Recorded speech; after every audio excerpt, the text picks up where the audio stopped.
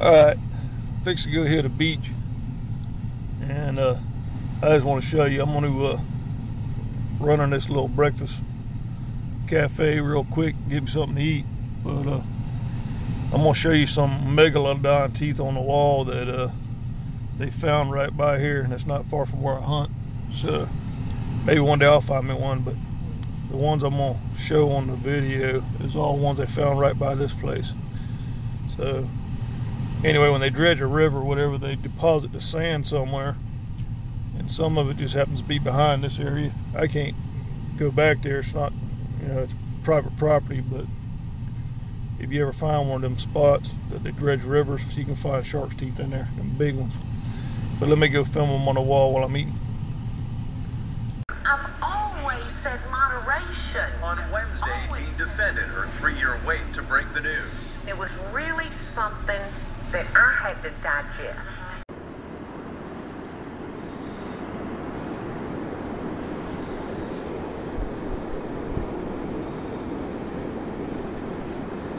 Maybe I'm gonna be lucky.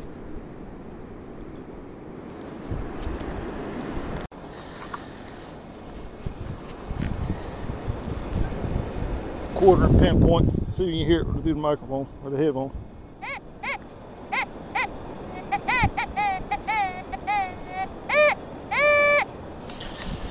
That's a pinpoint. That's a wheat penny. Hard to see, but that's what it is.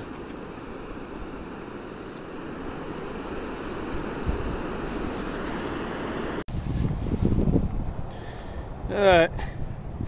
Took me a long time to find some of the stuff on the beach. And uh, if you look down in there, you got to uh, get down to where that shell is.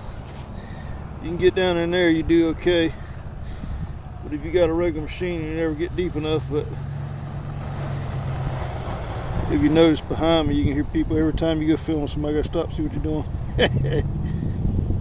but uh, anyway, there's a quarter. A lot of digging though. Like I said, I don't know if you can see down there or not. The sides is all. That's how far down you gotta go. Down their way. Alright guys, this is why you gotta keep a shape. This is man, I don't know. Probably one, two, three, four, five, six, seven, probably about nine scoops, but you look way down in there, which is way over a foot. Diamond pinpoint with the uh, Excalibur 2. Whew. Sure glad you don't have to dig 10 pennies at one time like that. God almighty. Anyway, I got to get out of here. I was just showing you. You do this during the winter time, you can stay in shape.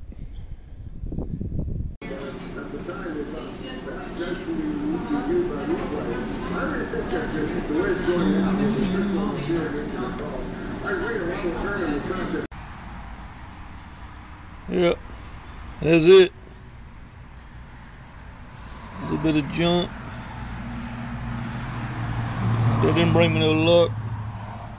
Two quarters, 17 dimes, one nickel, uh, probably 38 pennies. And this one's a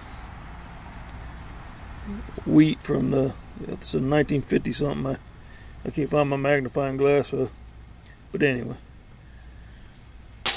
That's pretty much it. And I guess that beach is Not worth going to till it gets some weather or something. But that's it for now.